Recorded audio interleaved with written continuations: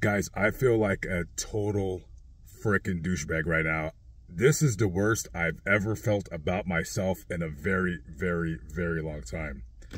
And I know you guys are probably going to give it to me in the comments, and I deserve every bad name, you know, fat, piece of crap, homeless bum, the N word, whatever you want to call me.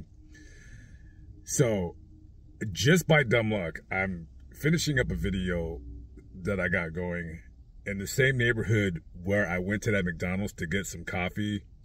You remember when I did the, the phone call when I called the McDonald's about that black kid, probably like 17, 18, 19 years old, vaping? So just, dude, this is just by dumb luck. I come to this McDonald's. I never ever planned to come back here ever, ever again. So just by dumb luck, I had to go back to the, whatever, to go finish the video. So I come back here and I'm like, all right, let me go get just get a cup of coffee. And I go into the McDonald's and I hear the same voice, like in the back, I hear the manager's voice. You know, it sounds like the gay white guy.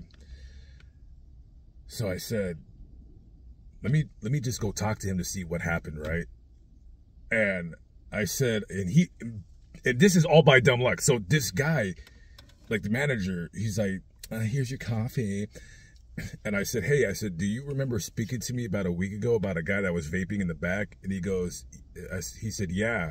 And I said, like, whatever happened to that? And he said, well, we gave him a, a write up. And I said, he works here? And he's like, yeah. And I told him, I said, oh my God, I said, I feel like a piece of crap now. I didn't know he worked there.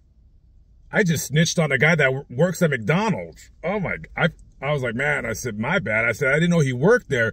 And he's like, yeah, no, don't worry about it. You know, employees aren't supposed to be vaping while they're, you know, working at McDonald's.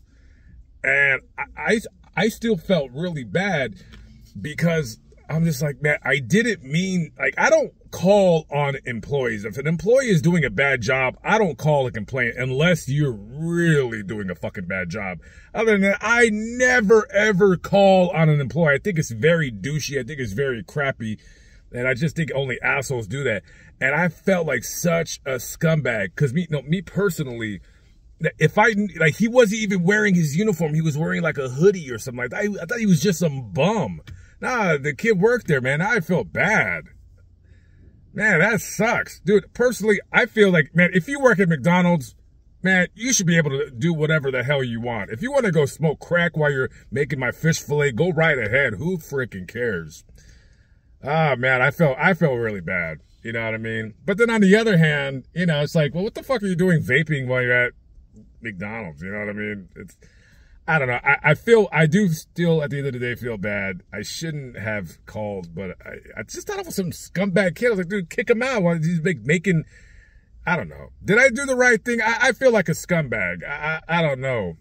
Um, so if, if you're a, if you're a black teenager, uh, maybe at the oldest, you, you're probably not even 18, and uh, you, you work in Kansas City at McDonald's, I'm the one that snitched on you.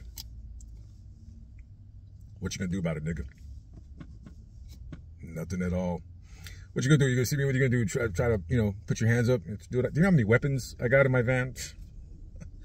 Dude, I dude, I can kill you with this crappy ass cell phone holder that I bought from Amazon that I can't even use because it's a piece of garbage.